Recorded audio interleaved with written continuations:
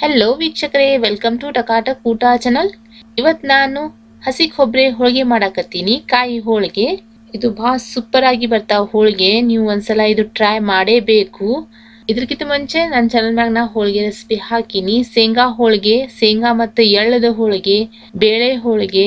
ಈಗ ಹಸಿ ಕೊಬ್ಬರಿ ಹೋಳಿಗೆ ಹಾಕಾಕತ್ತೀನಿ. ನೀವು ಹೋಳಿಗೆ ಮತ್ತು ನನ್ನ ಬೇರೆ ರೆಸಿಪಿ ನೋಡ್ಲಿಲ್ಲ ಅಂದ್ರೆ ಈಗೇ ನೋಡ್ಕೋರಿ. ಹಾಗಾದ್ರೆ ಹಸಿ ಕೊಬ್ಬರಿ ಹೋಳಿಗೆ ಮಾಡೋದು ಶುರು ಮಾಡನ್ರಿ ಈಗ.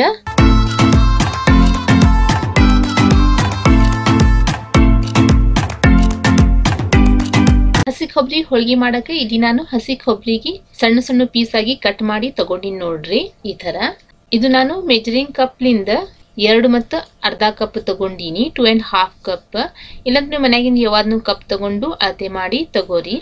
ನಂದು measuring cup two fifty M L ಐತಿ ಆ ಕಪ್ಲಿಂದ ಎರಡು ಮತ್ತು ಅರ್ಧ ಕಪ್ ಅಷ್ಟು ಕೊಬ್ಬರಿ ಆಗೈತಿ ಅದೇ ಸೇಮ್ ಕಪ್ಲಿಂದ ನಾನು ಇಲ್ಲಿ ಬೆಲ್ಲ ತಗೊಂಡಿನಿ ನೋಡ್ರಿ. ಬೆಲ್ಲ ನೋಡ್ರಿ, ಒಂದು ಮತ್ತು ಕಾಲ್ ಕಪ್ ಅಷ್ಟು ಬೆಲ್ಲ ತಗೊಂಡಿನಿ. ಸೇಮ್ ಕಪ್ಲಿಂದೆ ಅಳತಿ ಮಾಡಿ ತಗೋರಿ, ಸ್ವೀಟ್ ಕರೆಕ್ಟ್ ಆಗ್ತೈತಿ. ಹಿಂಗ್ ಮ್ಯಾಗ್ ತುಂಬಿ ತಗೊಳೋದಿಲ್ಲ ಕಪ್ಪಿಗೆ, ಹಿಂಗ್ ಫ್ಲಾಟ್ ಆಗಿ ತಗೊಳ್ಳೋದು ಟೂ ಅಂಡ್ ಹಾಫ್ ಕಪ್ ಹಸಿ ಕೊಬ್ಬರಿ one and one fourth cup, ಒಂದು ಮತ್ತು ಕಾಲ್ ಕಪ್ ಅಷ್ಟು ಬೆಲ್ಲ. ಇಷ್ಟು ತಗೋರಿ. ಇಲ್ಲಿ ಒಂದು ಆರು ಏಲಕ್ಕಿಗೆ ಕುಟ್ಟಿ ಪೌಡರ್ ಮಾಡ್ಕೊಂಡಿನ್ರಿ. ನೋಡ್ಬೋದು. ಆರು ಏಲಕ್ಕಿದು ಬೀಜ ತಗೊಂಡು ಪೌಡರ್ ಮಾಡೀನಿ. ಈಗ ಹೋಳ್ಗಿ ಮಾಡಕ ಹಿಟ್ಟು ನಾದ್ಕೋತೀನ್ರಿ ಇಲ್ಲಿ ಒಂದು ಬುಟ್ಟಿ ತಗೊಂಡಿನಿ, ಅದ್ರಾಗ ಮೈದಾ ಹಿಟ್ಟು ಹಾಕಕತ್ತೀನಿ. ನಾ ಮೈದಾ ಹಿಟ್ಟದಾಗ ಮಾಡಾಕತ್ತೀನಿ ಹೋಳ್ಗಿ. ಚಿರೋಟಿ ರವಾ ಅದು ಏನೂ ಹಾಕಾಕತ್ತಿಲ್ಲ. ಒಂದು ಕಪ್ ಅಷ್ಟು ಮೈದಾ ಹಿಟ್ಟು ತಗೋರಿ. ನೋಡಿ ತಗೋರಿ, ನಾ ಒಂದು ಕಪ್ ಅಷ್ಟು ತಗೊಳಕತ್ತೀನಿ ಮೆಜರಿಂಗ್ ಕಪ್ಲಿಂದೆ. ಇದ್ರಾಗ ಸ್ವಲ್ಪ ಉಪ್ಪು ಹಾಕ್ರಿ. ಒಂದು ಎರಡು ಚುಟ್ಕಿ ಅಷ್ಟು ಜಾಸ್ತಿ ಉಪ್ಪು ಹಾಕಕ್ ಹೋಗ್ಬಾರ್ದು. ಸ್ವೀಟ್ ಇರ್ತೈತಲ್ರಿ ಹೋಳ್ಗಿ. ಇದು ನೀವು ಹಿಟ್ನಾಗ ಉಪ್ಪು ಜಾಸ್ತಿ ಹಾಕಿದ್ರ ಮ್ಯಾಗಿಂದು ಚಪಾತಿ ಉಪ್ಪು ಉಪ್ಪದಂಗೆ ಹತ್ತೈತಿ. ಈಗ ಸ್ವಲ್ಪ ಸ್ವಲ್ಪ ನೀರ್ ಹಾಕೋತಾ ಹಿಟ್ಟಿಗೆ ನಾದ್ಕೋತೀನ್ರಿ ಚಪಾತಿ ಹಿಟ್ಟಿಗಿಂತ ಸ್ವಲ್ಪ ಅಳಸಿರ್ಬೇಕ್ರಿ ಹಿಟ್ಟ. ಆ ತರ ನಾದ್ತೀನಿ. ಇಲ್ಲಿ ನೋಡ್ರಿ, ಹಿಟ್ಟೆಲ್ಲ ನಾದೀನಿ. ಈಗ ಇದ್ರಾಗ ಒಂದು ಎರಡು ಟೇಬಲ್ ಸ್ಪೂನ್ ಅಷ್ಟು ಎಣ್ಣೆ ಹಾಕಿ ಒಂದು ಐದು ನಿಮಿಷ ತನ ಮಸಾಜ್ ಮಾಡ್ಕೋತಾ ಹಿಟ್ಟಿಗೆ ರೀ. ಚಲೋ ಆಗಿ ಹಿಟ್ಟು ನಾದ್ಕೋಬೇಕು. ಒಂದು ಐದು ನಿಮಿಷ ತನ ಮ್ಯಾಶ್ ಮಾಡ್ಕೋತ ಹಿಟ್ಟು ನಾದ್ರಿ. ಇಲ್ಲಿ ನೋಡ್ರಿ, ಐದು ನಿಮಿಷ ತನ ಹಿಟ್ಟು ನಾದೀನಿ. ಈಗ ಇದಕ್ಕೆ ಮ್ಯಾಗ ಸ್ವಲ್ಪ ಎಣ್ಣೆ ಹಚ್ತೀನಿ. ಎಣ್ಣೆ ಹಚ್ಚು ಇದಕ್ಕೆ ಮುಚ್ಚಿ ಸೈಡಿಗೆ ಇಡ್ತೀನಿ. ಒಂದ್ ಹತ್ ನಿಮಿಷ ತನ ಹಿಟ್ಟಿಗೆ ನೆನೆ ಕೊಡ್ರಿ ಜಾಸ್ತಿ ನೆನದ್ ಬೇಕಾಗಿಲ್ಲ. ಈಗ ಇದು ಕೊಬ್ಬರಿಗೆ ಮಿಕ್ಸಿ ಜಾರ್ನಲ್ಲಿ ಹಾಕಿ ಬೀಸ್ಕೊಂಡ್ ತಗೋತೀನ್ರಿ. ಎಲ್ಲಾ ಕೊಬ್ಬರಿ ಮುರಿಬೇಕು, ಪೌಡರ್ ಆಗ್ಬೇಕು. ಆ ತರ ಬೀಸಿ ತಗೊಂಡ್ ಬರ್ತೀನಿ. ಇಲ್ಲಿ ನೋಡ್ರಿ, ಇದು ಕೊಬ್ಬರಿಗೆ ಬಿಸ್ಕೊಂಡಿನಿ. ಫುಲ್ ನುಣ್ಣಗಾಗಿ ರುಬ್ಕೊಂಡಿನಿ. ಒಳಗೇನು ಇಲ್ಲ. ಇಷ್ಟ ಆಗಿತ್ತು ಇದು ಕೊಬ್ಬರಿ ಒಂದ್ ಭಗೋನಿದಾಗ ಇದು ಬೆಲ್ಲ ಹಾಕೋತೀನಿ ನೋಡ್ರಿ. ಇದ್ರಾಗ ನೀರು ಹಾಕ್ತೀನಿ. ಅಷ್ಟೇ ಸ್ವಲ್ಪ. ಈಗ ಇದಕ್ಕೆ ಬೆಲ್ಲಿಗೆ ಸೈಡಿಗೆ ತಿಂಡಿ ಬೆಲ್ ಕರ್ಗ ಸಲುವಾಗಿ ಇದೆಲ್ಲ ಮೆಲ್ಟ್ ಆಗಬೇಕು. ಅಟತನ ಗ್ಯಾಸಿನ ಮ್ಯಾಗ ಲೋ ಫ್ಲೇಮ್ ಮ್ಯಾಗ ಇಡ್ತೀನಿ. ಇಲ್ಲಿ ನೋಡ್ರಿ ಬೆಲ್ಲಿಗೆಲ್ಲ ಕರ್ಗಿಸಿನಿ. ನೋಡ್ರಿ ಬೆಲ್ಲಿಗೆ ನಾ ಸೈಡಿಗೆ ಕುದ್ಯಾಕ್ ಇಟ್ಟಿದ್ದೆ, ಬೆಲ್ಲೆಲ್ಲ ಕರಗಿತಿ ಇದು ಬೆಲ್ಲಿಗೆ ಸೋಸಿ ತಗೋತೀನಿ. ಒಂದು ಕಡಾಯಿ ತಗೊಂಡಿನಿ, ಅದರಲ್ಲಿ ಇದು ಸ್ಟೇನ್ ಮಾಡಿ ತಗೋತೀನಿ. ನೋಡ್ರಿ ಬೆಲ್ದಾಗ ಹೊಲಸಿದ್ದು ಚಣ್ಣಿದಾಗ ಬಂದೈತಿ. ಸೋಸಿ ತಗೊಳ್ಳೋದು ಒಳ್ಳೇದು. ಸ್ವಲ್ಪ ಗಟ್ಟಿ ಆಗತ್ತನ, ಕುದಿಸಿ ತಗೋತೀನಿ ರೀ ಇದಕ್ಕೆ. ಈಗ ನೀರು ನೀರು ಐತಿ. ಯಾಕಂದ್ರೆ ಇದ್ರ ಇದ್ರಾಗ ನೀರು ಹಾಕಿವಲ್ರಿ ಅದು ಸ್ವಲ್ಪ ಗಟ್ಟಿ ಆಗೋ ಸಲುವಾಗ ಕುದಿಸನ್ರಿ ಇದಕ್ಕೆ ಗ್ಯಾಸಿನ ಫ್ಲೇಮ್ ಮೀಡಿಯಮ್ ಆಗಿಟ್ಟೀನಿ ಈಗ ಒಮ್ಮೆ ಚೆಕ್ ಮಾಡಿ ನೋಡ್ತೀನಿ ಇಲ್ಲಿ ನೋಡ್ರಿ ಸ್ವಲ್ಪ ಗಟ್ಟಿಯಾಗಿತ್ತು ಆಗೈತಿ ಇದು. ಇಷ್ಟು ಜಿಗಿ ಐತಿ ನೋಡ್ರಿ. ಈಗ ಇದ್ರಾಗ ಕೊಬ್ಬರಿ ಹಾಕ್ತೀನಿ ಇದು. ಎಲ್ಲ ಕೊಬ್ಬರಿ ಹಾಕಿ ಚಲೋ ಆಗಿ ಮಿಕ್ಸ್ ಮಾಡ್ರಿ. ಗ್ಯಾಸಿನ ಫ್ಲೇಮ್ ಮೀಡಿಯಂ ಲೋ ಮ್ಯಾಗ ಇಡ್ರಿ. ಎಲ್ಲ ಬೆಲ್ದಾಗ ಕೊಬ್ಬರಿ ಮಿಕ್ಸ್ ಮಾಡ್ಕೋರಿ. ಮಿಕ್ಸ್ ಮಾಡ್ಕೋತಾ ಗಟ್ಟಿ ಮಾಡ್ರಿ ಇದು. ಹೂರನ್ ಟೈಪ್ ರೆಡಿ ಆಗಬೇಕು. ನಾವು ಹಿಂಗೆ ಕಟ್ಟದ್ರ ಉಂಡಿದಂಗೆ ಆಗಬೇಕು. ಅಟತನ ಕುದಿಸದ್ರಿ ಇದಕ್ಕೆ. ಇಲ್ಲಿ ನೋಡ್ರಿ, ಸ್ವಲ್ಪ ಗಟ್ಟಿಯಾಗಿ ಇದು ಹಂಗೆ ಮಿಕ್ಸ್ ಮಾಡ್ರಿ. ತೆಳಗದು ಹತ್ತಕ್ ಕೊಡ್ಬ್ಯಾಡ್ರಿ. ಸ್ಪ್ಯಾಚುಲಲ್ಲಿಂದ ಎಲ್ಲಾ ತಳಲಿಂದ ತಗೋತಾ ಮಿಕ್ಸ್ ಮಾಡ್ರಿ. ಈಗ ಇದ್ರಾಗ ಯಾಲಕ್ಕಿ ಪೌಡರ್ ಹಾಕ್ತೀನಿ ಕಾರ್ಡಮಮ್ ಪೌಡರ್ ಹಾಕಿ ಚಲೋ ಆಗಿ ಮಿಕ್ಸ್ ಮಾಡ್ಕೋತೀನಿ. ಇದು ನೋಡ್ರಿ ಮತ್ತಷ್ಟು ಗಟ್ಟಿ ಆಗೈತಿ ತಣ್ಣಗಾಗನ ಮತ್ತಷ್ಟು ಗಟ್ಟಿ ಆಗ್ತೈತಿ. ಇದ್ರಾಗ ಒಂದು ಟೇಬಲ್ ಸ್ಪೂನ್ ಅಷ್ಟು ಊಟ ಮಾಡಿದ ಒಂದ್ ಚಮಚಿಯಷ್ಟು ತುಪ್ಪ ಹಾಕ್ತೀನಿ. ಹಾಕಿ ಚಲೋ ಆಗಿ ಮಿಕ್ಸ್ ಮಾಡಿ ಗ್ಯಾಸಿಗೆ ಬಂದ್ ಮಾಡಿ ಸೈಡಿಗೆ ಇರ್ತೀನಿ ಇದು ತಣ್ಣಗಾಗಕ. ತಣ್ಣಗಾಗನಾಗ ಇದು ಹೂರಣದು ಉಂಡೆ ಮಾಡ್ಕೊಳ್ಳೋಣ್ರಿ ಹೋಳಿಗೆ ಯಾವ ಸೈಜಿಂದ ಬೇಕು ಆ ಸೈಜಿಂದು ನೋಡ್ರಿ ಹೂರಣೆಲ್ಲ ತಣ್ಣಗಾಗಿತ್ತಿ ಈಗ ಈ ಹೂರಣದು ಉಂಡೆ ಮಾಡ್ಕೊಳ್ಳೋನು ನಮ್ಗೆ ಯಾವ ಸೈಜಿಂದ ಹೋಳ್ಗಿ ಬೇಕು ಆ ಸೈಜಿಂದ ಉಂಡೆ ರೆಡಿ ಮಾಡ್ಕೊಳ್ಳೋನು ಇಲ್ಲಿ ನೋಡ್ರಿ ಕೈಗ್ನು ಅಂಟಲಾಗಿತ್ತಿ ಹೂರಣ. ಇದ್ರಾಗ ಏನಾರ ಮಾಯ್ಶ್ಚರ್ ಇದ್ರ ಕೈಗೆ ಹತ್ತಿತ್ತು. ಮಾಯ್ಶ್ಚರ್ ಐತಿ ನೀರಿದ್ರ ಕೈ ಹತ್ತಿತ್ತು, ಬಾಳ ಚಲೋ ಹೂರಣ ರೆಡಿ ಆಗೈತಿ, ಇದು ಎಲ್ಲಾ ಹೂರಣದು ನಾ ಉಂಡೆ ಮಾಡ್ಕೋತೀನಿ. ನೋಡ್ರಿ, ಹಿಟ್ಟದ್ನು ಪೇಡೆ ಮಾಡ್ಕೊಂಡಾರ ಇಲ್ಲಿ, ಇಷ್ಟ ಅಳಸ ಐತಿ, ನೀವು ನೋಡ್ಬೋದು. ನೋಡ್ರಿ, ಈ ಸೈಜಿಂದು ಹಿಟ್ಟದೈತಿ ಈ ಸೈಜ್ ಹೂರಣದು ರೆಡಿ ಮಾಡ್ಕೊಂಡಿವಿ. ಅದಕ್ಕಿಂತ ಸ್ವಲ್ಪ ಜಾಸ್ತಿನೇ ಐತಿ ಹೂರಣ. ಹೂರಣ ಎಷ್ಟು ಇರ್ತೈತಿ, ಅದ, ಅದದಷ್ಟು ಹಿಟ್ಟದ ಪೇಡೆ ಮಾಡ್ಕೊರಿ. ಇಲ್ಲಿ ನೋಡ್ರಿ, ಹೂರಣದು ಉಂಡಿ ಮಾಡ್ಕೊಂಡೀನಿ. ಈಗ ಹೋಳ್ಗೆ ಮಾಡೋದು ಶುರು ಮಾಡನ್ರಿ. ನೋಡ್ರಿ, ಒಂದು ಪೇಡೆ ತೊಗೊಂಡಾರ ಇಲ್ಲಿ. ಅದಕ್ಕೆ ಸ್ವಲ್ಪ ಅಡ್ಡಾಳ್ ಮಾಡೋದು. ಈಗ ಹೂರಣದ ಒಂದು ಉಂಡಿ ತಗೊಂಡು ಅದ್ರಾಗ ಹಿಂಗೆ ತುಂಬ್ಕೋತ ಹೋಗೋದು, ಹಿಟ್ಟಿಗೆ ಮ್ಯಾಗ್ ತಗೊಳ್ಳೋದು ಜಗ್ಗದೇ ಇಲ್ರಿ. ಸೌಕಾಸಾಗಿ ಮ್ಯಾಗ್ ತಗೊಳ್ಳೋದು ಬಟ್ ಜಗ್ಗದೇ ಇಲ್ಲ. ಈಗ ಎಕ್ಸ್ಟ್ರಾ ಹಿಟ್ಟಿಗೆ, ಹಿಟ್ಟು ಜಾಸ್ತಿ ಆಗಿತ್ತಿ ಹೊರಗೆ ತೆಗಿತಾರತ್ತ. ಕಮ್ಮಿ ಇದ್ರೆ ಅಲ್ಲೇ ಅಂಟಿಸ್ಬಿಡೋದು. ಈಗ ಸ್ವಲ್ಪ ಅಡ್ಡಾಳ್ ಮಾಡೋದು.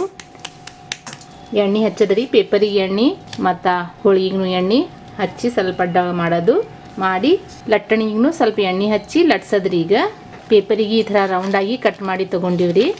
ಒಮ್ಮೆ ಈಗ ಹೊಳೆ ಹಾಕನ್ರಿ ಮೊದಲಿಗೆ. ಇದಕ್ಕೆ ತಿರ್ಗಿಸಿ ತಿರ್ಗಿಸಿ ಹಾಕಿನೂ ಲಟ್ಟಿಸ್ಬೋದು. ಇಲ್ಲಾಂದ್ರೆ ಒಂದೇ ಸೈಡ್ ಇಟ್ಟು ಲಟ್ಟಿಸ್ರಿ.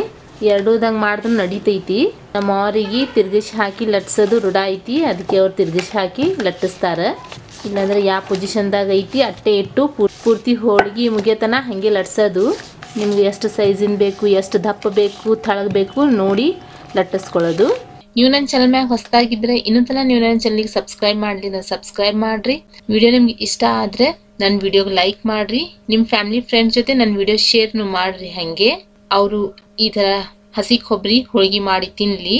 ನೋಡ್ರಿ ಹೋಳಿಗೆ ರೆಡಿ ಐತಿ. ಸೈಡಿಗ್ನು ಹಿಟ್ಟು ಜಾಸ್ತಿ ಬಂದಿಲ್ಲ ನೋಡ್ರಿ ನೀವು. ಹೂರಣ ಮತ್ತು ಹಿಟ್ಟು ಎರಡು ಕರೆಕ್ಟ್ ಐತಿ. ಈಗ ಹೋಳಿಗೆ ಲಟ್ಟಣಿ ಮ್ಯಾಗ ತಗೊಳದ್ರಿ. ಹಂಗನು ತಗೊಂಡ್ ಹಾಕ್ಬಹುದು ಡೈರೆಕ್ಟ್ನು ಇಲ್ಲಿ ಗ್ಯಾಸಿನ ಮ್ಯಾಗ ತವಾ ಇಟ್ಟಿವಿ ನಾನ್ ಸ್ಟಿಕ್ ತವಾ ಐತಿ. ಇದ್ರ ಮ್ಯಾಗಿದ್ದು ಹೋಳಿಗೆ ಹಾಕದ್ರಿ. ಹಿಂಗೆ ಹಾಕಿ ಮತ್ತೆ ರೋಲ್ ಮಾಡ್ಕೋತು. ಪೂರ್ತಿ ಹಾಕ್ಬಿಡೋದು. ಇಲ್ಲಿ ನೋಡ್ರಿ, ಸ್ವಲ್ಪ ಎಣ್ಣೆ ಹಚ್ಚನ್ರಿ ಇದಕ್ಕೆ. ಬೇಕಾದ್ರೆ ಹಚ್ಚ್ರಿ ಇಲ್ಲಂದ್ರೆ ಬಿಡ್ರಿ. ಯಾಕಂದ್ರೆ ಕೊಬ್ಬರಿದಾಗನು ಎಣ್ಣೆ ಇರ್ತೈತಿ. ತನ್ನ ನ್ಯಾಚುರಲ್ ಎಣ್ಣೆ ಹೊರಗೆ ಬರ್ತೈತಿ. ಬೇಕಾದ್ರೆ ಹಚ್ಬೋದು, ಇಲ್ಲಂದಿಲ್ಲ. ಈಗ ಗ್ಯಾಸಿನ ಫ್ಲೇಮ್ ಮೀಡಿಯಂ ಲೋ ಮ್ಯಾಗ ಐತ್ರಿ. ಇಲ್ಲೊಂದು ಮೀಡಿಯಂ ಇಡ್ರಿ. ಮತ್ತೊಂದ್ ಸೈಡ್ ಎಣ್ಣೆ ಹಚ್ಚಿ ಇದಕ್ಕೂ ಹಂಗೆ ಕುದಿಸ್ಕೊಳ್ಳೋದು. ಜಾಸ್ತಿ ತಿರ್ಗಿಸ್ ತಿರ್ಗಿಸ್ ಏನು ಕುಕ್ ಮಾಡೋದು ಬೇಕಾಗಿಲ್ಲ. ಒಂದ್ ಎರಡು ಸತಿ ಐತಂದ್ರೆ ಸಾಕು. ಯಾಕಂದ್ರೆ ಮ್ಯಾಗಿಂದು ಚಪಾತಿದು ಸ್ಕಿನ್ ಭಾಳ ತೆಳಗಿರ್ತೈತಿ, ಜಲ್ದಿನೇ ಕುಕ್ ಆತೈತಿ ಮತ್ತೊಮ್ಮೆ ಹೊಳಿ ಹಾಕ್ತೀನಿ.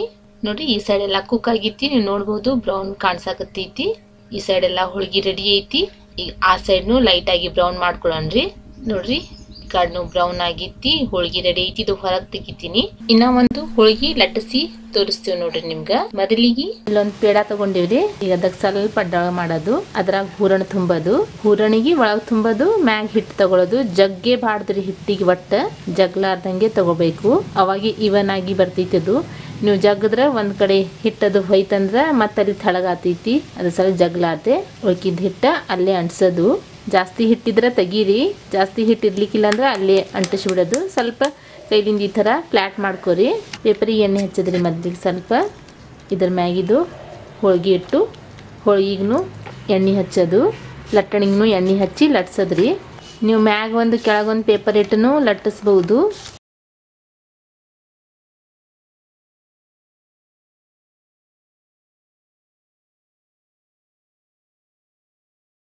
ನೋಡ್ರಿ, ಹೋಳಿಗೆ ರೆಡಿ ಐತಿ.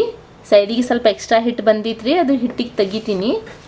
ಮೊದ್ಲಿಂದ ಹೋಳಿಗೆಗೆ ಬಂದಿಲ್ಲ, ಇದು ಹೋಳಿಗೆಗೆ ಬಂದೈತಿ. ಇದಕ್ಕೆ ಸ್ವಲ್ಪ ಹಿಟ್ಟು ಜಾಸ್ತಿ ಆಗೈತಿ, ಅದ್ರ ಸಲುವಾಗಿ ಸೈಡಿಗೆ ಹಿಟ್ಟು ಬಂದೈತಿ. ತೆಗೆಯೋದೇ ಚಲೋ ರೀ ಇದು ಹಿಟ್ಟು, ಹಾಗೆ ಹಾಕಿ ಬಯಸಕ್ಕಿತ್ತ ನೀವು ಲಟ್ಟಣಿ ಮ್ಯಾಗೂ ತೊಗೋಬೋದು ಹೋಳಿಗೆಗೆ, ಇಲ್ಲಾಂದ್ರೆ ಈ ಥರ ಕೈ ಮ್ಯಾಗೂ ತೊಗೋಬೋದು. ಈಗ ತವಿ ಮ್ಯಾಗ ಹೋಳ್ಗೆ ಹಾಕೋದು. ಲಟ್ಟಣಿ ಮ್ಯಾಗ ತೊಗೊಂಡು ಹಾಕ್ಬೋದು, ಇಲ್ಲಾಂದ್ರೆ ಕೈ ಮ್ಯಾಗ ತೊಗೊಂಡು ಹಾಕ್ಬೋದು. ಈ ಹೋಳಿಗೆನು ಮದ್ದಿನಂಗೆ ಬೇಯಿಸ್ಕೊಳ್ಳೋದು. ಸ್ವಲ್ಪ ಎಣ್ಣೆ ಹಚ್ತೀನಿ ಎರಡು ಸೈಡ ಮದ್ದಿನಂಗೆ ಕುಕ್ ಮಾಡ್ಕೊಳ್ಳೋದು.